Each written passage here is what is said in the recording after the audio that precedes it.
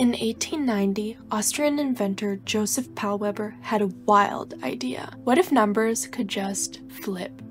His mechanical jump hour display revolutionized timekeeping, but it wasn't until the swinging 60s and 70s that flip clocks became more mainstream, appearing on every nightstand and office desk. Fast forward to today. I scored this bad boy from the 80s for $10 at a thrift store. It's seen better days, and we're about to find out if this piece of retro tech can flip once again. It wasn't doing that before. Yes! I've wanted a flip clock for so long. Let's get into it.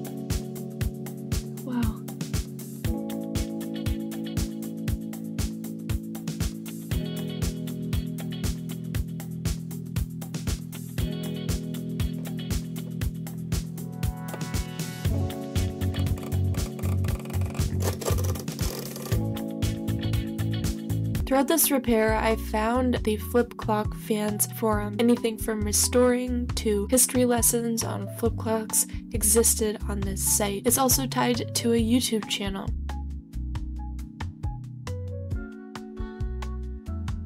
The flip clock in this video is the General Electric 74305F flip clock. This series started with production in the late 1970s and throughout the years has had different model types where in the name the lack of or presence of a letter denoted different production variants indicating changes in the manufacturing location, cosmetic differences, or minor internal mechanism variations over the production run. This is the original model. Clearly it looks very similar to what we have in the video. The key difference though is that if you look closely at the numbers, the time mechanism used flipping tiles. And I just love these Chronotel uh, GE mechanisms. They're just fascinating. They're like little Ferris wheels in there. In a way, it's a little more complicated than a flip clock. So that you'll see there's a flip, there's flipping going on, but it's back behind the scenes here. As you can see on the actual hour wheel, there's way less panels than there are hours in a day. This is because both faces of the panels have numbers on them, so the clock needs to flip and orient to the correct number depending on the time. And so a flipping is still happening, but behind the scenes, not really similar to the flip clock flap kind of mechanism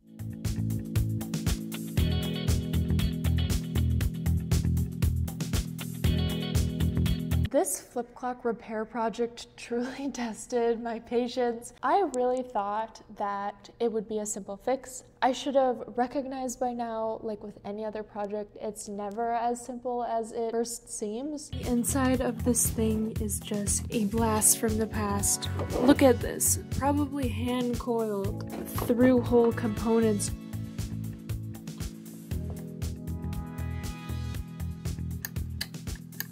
The craziest part is this cable driven system for selecting which radio station you're on. We've got the cable pretension with a spring, wraps around several pulleys around the top, and it moves this plastic bar watch.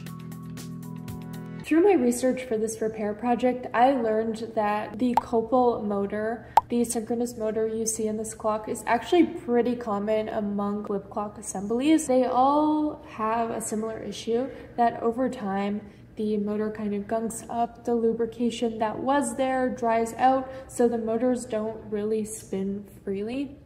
Thankfully, it's not an electronics problem where the motor itself like exploded or something went wrong with it. It's really just about cleaning the motor, particularly the shaft and the bearings, and then applying oil or a lubrication of some sort to help it spin again. The culprit is this right here, the motor. And I've seen in some repair videos, people have been able to just put some electronics cleaner in the motor itself and it helps. And I naively thought it would be that simple.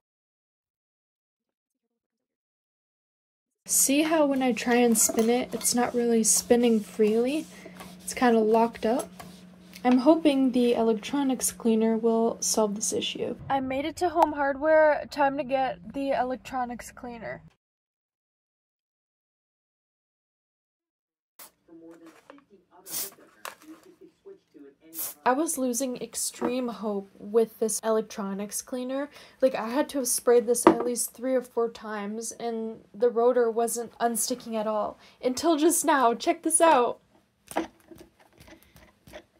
Just like in the repair video, it's spinning freely. This is great news. I'm gonna let this sit for 30 minutes to an hour. Hopefully all of the electronics cleaner will dry out.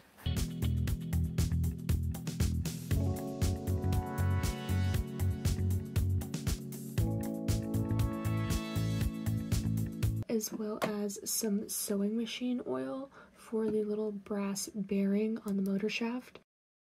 Okay, here's the moment of truth. I'm going to plug the clock in. Okay, nothing is working, and that makes me wonder. It is AC, so, yep, 120 AC. So we are getting something to the motor, which is good. At this point, I was getting a little bit nervous because the only solution I had really found to my problem was just cleaning the motor with that cleaner. The cleaner did not work. I tried a second time, a third time. I even found a forum that said try dipping the motor windings in rubbing alcohol, letting it soak, letting it dry, it should help. And then after doing so and not seeing a change, I found another forum post in a flip clock forum that said using rubbing alcohol is not actually suggested because it wears away the glue that holds the magnets. That's not good.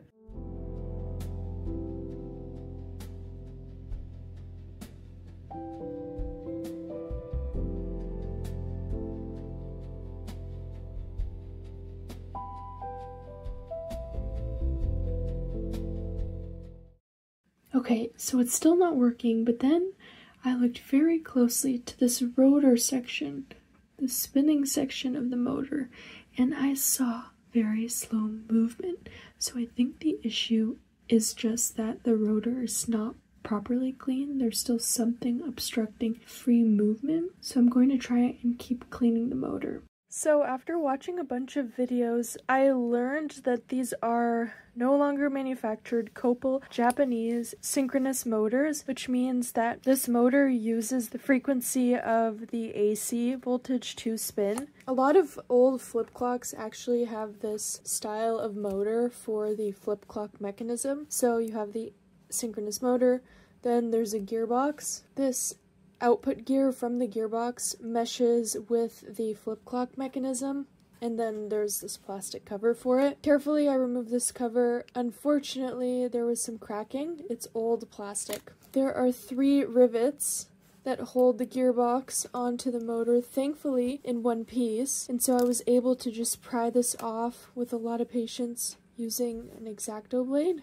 you can see where I tried. There's some marks on the surface. I'm guessing this is aluminum. And you can see pretty clearly here why it's such a challenge to lubricate these motors. First of all, the output gear of this motor is very hard to access directly since the gearbox is in the way, but also there's this like lip here. Also, do you see just how junky that is. I'm gonna give this a good clean with a toothbrush too. But the next move is to try and remove this gear so that the whole cap comes off and we can clean and lubricate the front of the shaft here as well as the back. Now at this point I got pretty nervous because where am I gonna find a motor like that that doesn't cost me more than I paid for the clock? These Copal synchronous motors are no longer fabricated. There is only a select finite amount of these that exist on the market.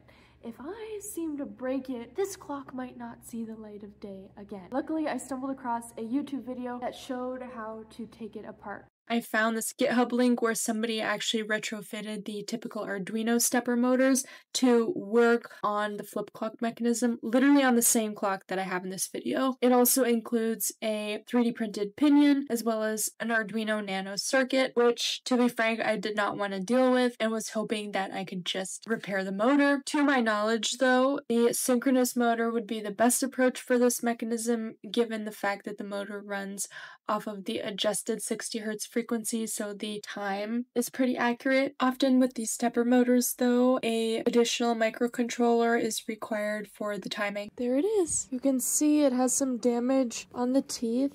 Thankfully, those are near the bottom and they don't mesh with the plastic gear in the gearbox, so I'm not too concerned.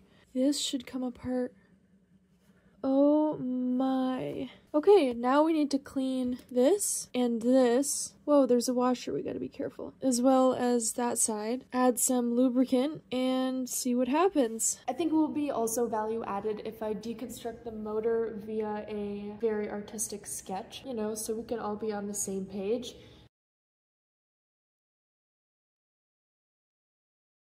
This blue thing is the attachment bracket or plate. It's what holds the motor gearbox into the clock. When you remove this with two screws, the motor itself has a cover that's attached to the motor shaft. In order to remove the cover, the back gear or output gear on the motor shaft needs to be removed.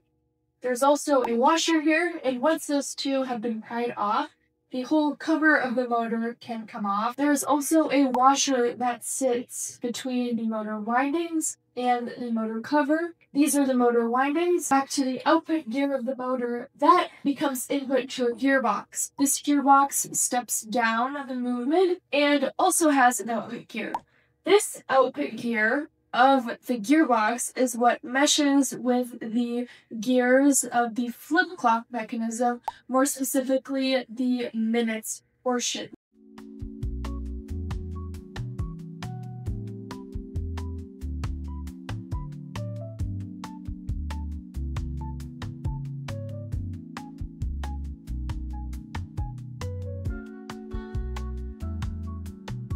all of this is gunk that was all in the teeth of this little gear.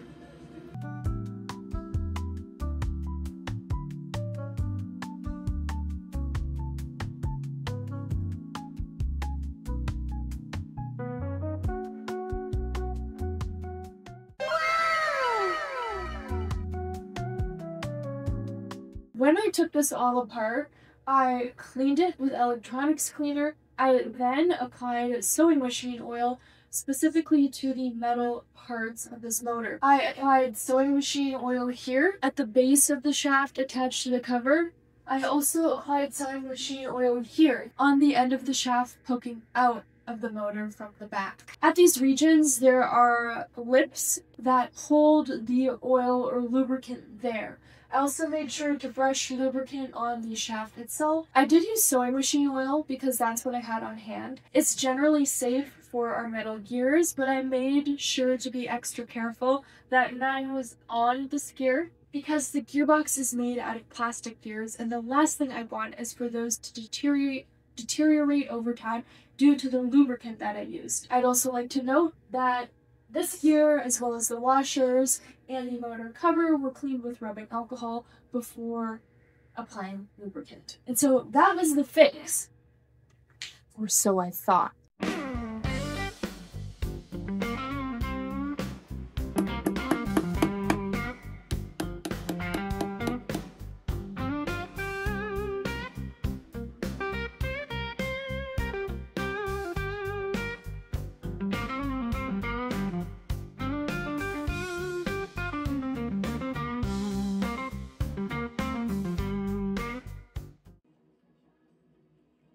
Okay, I'm gonna plug in the clock and if this motor spins freely, then we fixed it.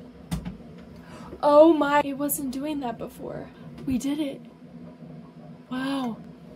Okay, let's put it back in the flip clock and see if this is actually gonna work.